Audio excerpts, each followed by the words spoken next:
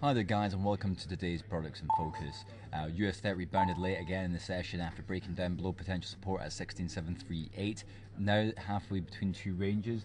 Most equity markets are having a slow bounce. Germany 30 looking a little bit uh, weak this morning, incidentally, as we get closer and closer to today's non-farm payrolls, which has uh, ramifications for most global markets for the uh, for the next month or so.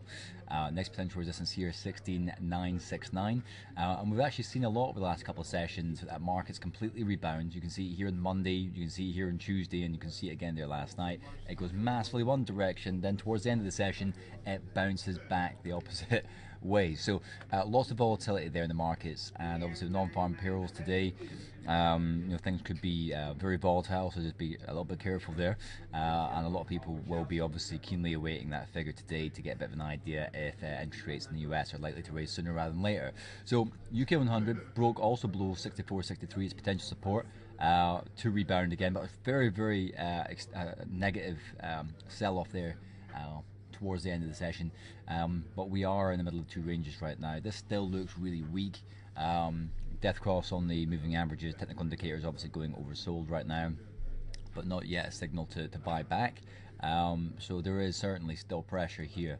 Um, moving on to Japan 225, it got absolutely hammered yesterday to reverse back, but then it's moving back up today because dollar yen has uh, reversed course and has touched 110 again, I believe.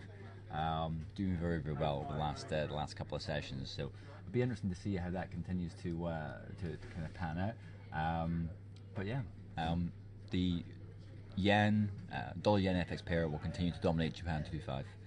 Um, monetary st- stimulus will continue to aid um, the Japanese economy. Um, but the Japanese economy also doesn't want the yen to depreciate too much because there is a there is a slight imbalance right there. Um, certainly, as we're seeing a bit of a recovery uh, in the dollar index, and we've seen some some moves uh, on the dollar uh, to the positive side overnight. Um, not like a massive rebound, but we have seen a little bit of a reversal for fortunes on there. Um, that, that will still continue to help uh, some marketplaces in there, but especially Japan 25 with dollar yen. So next potential uh, resistance 15.828. So moving on to that dollar yen. Um, you can see that we actually went back into positive territory. Let me just go onto my uh, onto my daily chart. It's actually a weekly chart I've got right there, and um, you can actually see that we've had had an attempt to uh, to get back up uh, today. Obviously, a bit of a volatile session yesterday. We actually closed down. We had Wednesday was a bad day. Tuesday not so great actually. We've had a little bit of a rebound uh, to, to 109. Sorry, I mentioned 110 before, but back to back to 109. Um, it's interesting that the candle wicks are getting a little bit longer on there, but to be fair, it's all about non-farm payrolls today, so we'll, we'll, see what happens. But it's having an attempt to try and um, get get back up there. And we are trading above that 21 period SMA, so that would be worth looking at as well. Um, moving on to crude oil West Texas, very volatile, bouncing all over the place. Look at this rebound, hit $89, pretty much bang on, and it's back into this range again. So uh, we are trading above 91.28. Next potential resistance 92.85 very strong hammer formation. There'd be people who'd be interesting to buy at the support at 89. Nothing's really changed fundamentals wise. So, I, from a technical perspective, you might actually think this is this is a very very strong technical signal. I've seen it before on crude and been disappointed. Um, you know, this is a very, very, very, very strong hammer formation. The fundamentals haven't changed. People are still worried about long-term demand from China. Um, fundamentals still seem kind of quite stacked against West Texas, so just be very wary if uh, if looking to trade uh, crude on the long side. Um, but yeah, very interesting technical moves on there. Gold, pretty much waste of time. Moving back down as the dollar, uh, as the USD begins to gain momentum on the back of non-farm payrolls, raising rates in the US, rising rates in the US would have an impact on gold. Non-farm payrolls come out really strong. Expect gold to take some brunt of the pressure here. Next potential support 1180.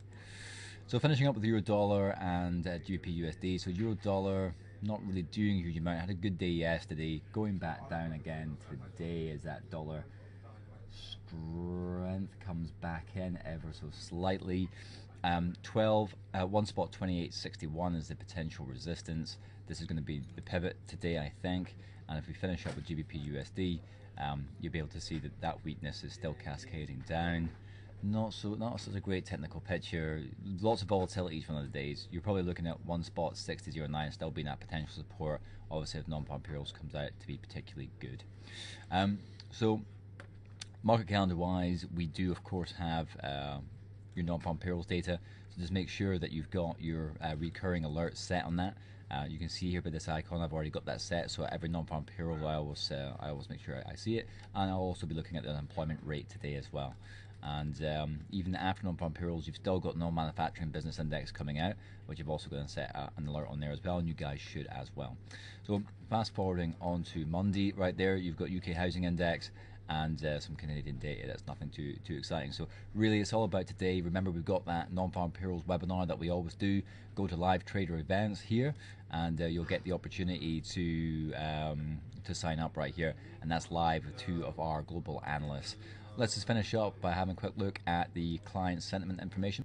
And you can see that this gives you the, the, view as to what our clients are doing right now. 66% of clients are short, US 30, 68% are long, Germany 30, UK 100, Japan 225. So they're on the long side as we begin to see that extended sell off, people start buying up.